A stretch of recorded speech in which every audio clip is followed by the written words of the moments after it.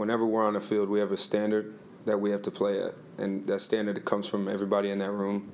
So, at the end of the day, like I said, it's our job to play that standard, and, and we hold each other accountable to that.